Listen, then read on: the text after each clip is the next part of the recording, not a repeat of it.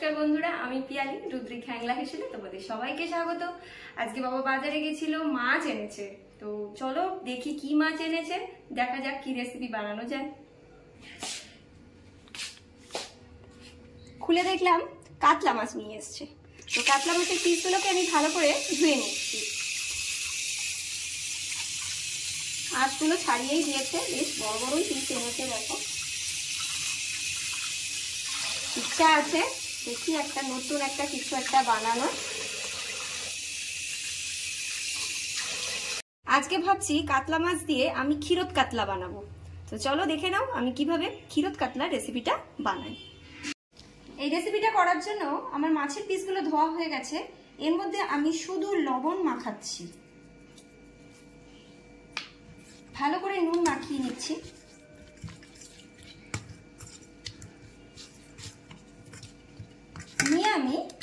পিসগুলোকে ভেজে নেব। এগুলোকে ভাজার জন্য আমি কড়াইতে নিয়ে নিচ্ছি সাদা তেল। এর সাথে আমি দিয়ে দিচ্ছি একটু ঘি। দিয়ে ভালো করে একটু মিশিয়ে নেব। পিসগুলো ভেজে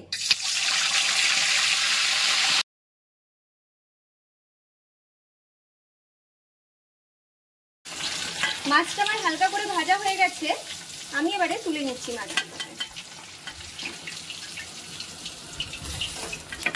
এইভাবেই আমি পরের পিসগুলোকেও ভেজে নেব।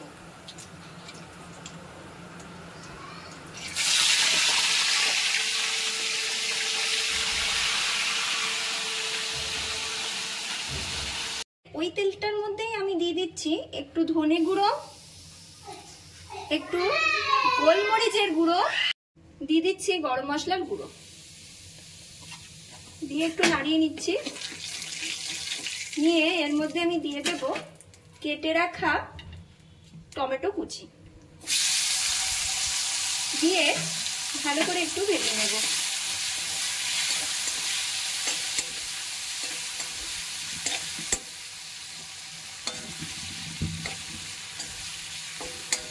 এখানে এক কাপ দুধ নিয়ে নিয়েছি, তাতে দিয়ে দিচ্ছি হাফ চামচ মতন ময়দা।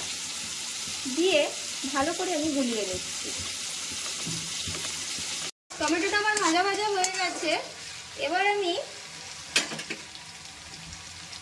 দুধের মধ্যে ময়দা দিয়ে গুলে যেটা বানিয়ে রেখেছিলাম, ওটা দিয়ে দিচ্ছি। দিয়ে নাড়িয়ে নিচ্ছি। এবার আমি এতে দিয়ে দিচ্ছি স্বাদ মতো নুন। স্বাদ মতো মিষ্টি। আর দিয়ে দিচ্ছি দুটো কাঁচা লঙ্কা। দিয়ে ভালো করে আরেকবার মিলিয়ে নিচ্ছি। আমার ফুটে উঠেছে। এবার আমি ভেজে রাখা মাছের পিসগুলো দিয়ে দিচ্ছি।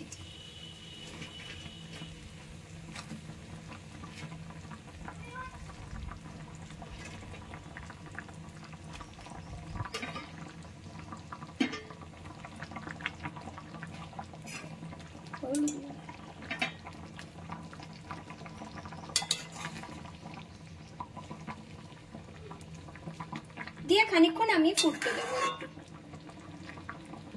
এবার নামাবার আগে আমি দিয়ে দিচ্ছি একটু গরম মশলার গুঁড়ো আর গোলমরিচের গুঁড়ো।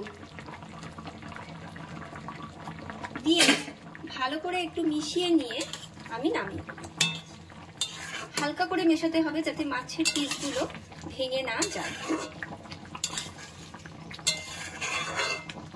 এটা আপনারা দই কাতলার বদলেও বাড়িতে বানিয়ে খেতে পারেন। গরম ভাতে খুবই ভালো লাগবে। ক্ষীরত কাতলা রেসিপিটা হয়ে গেছে।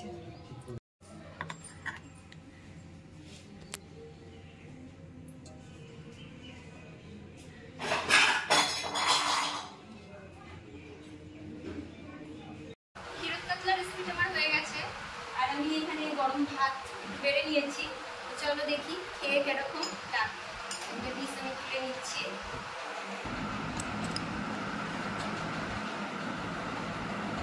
একটু জুস নিয়ে নিচ্ছি। এরকম লাগে?